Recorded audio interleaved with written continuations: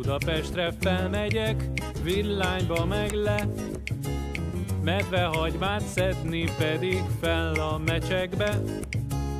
TV tornyot, ha megmászom, körbe látok a világon. Ácsi, csak nem Pécsi a bácsi.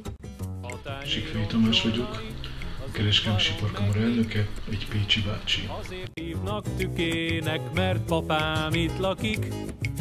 Én is Pécset születtem, gyerekkoromban az iskolába busszal jártam, akkor volt a híres MCL emeletes busz, amelyet nagyon szerettünk a gyerekek. Tehát egy-két megállót képesek voltunk menni a busszal.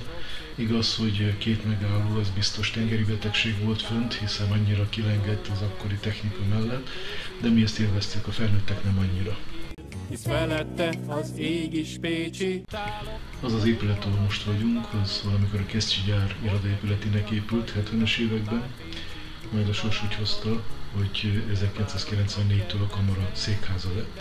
Én a Kesztyi gyárban is itt dolgoztam, és természetesen 94-től már a kamaránál voltam, itt folytattam a munkámat ebben az épületben.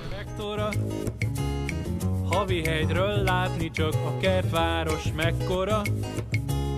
Panelházak színesednek, nem szépek, de szigeteltek.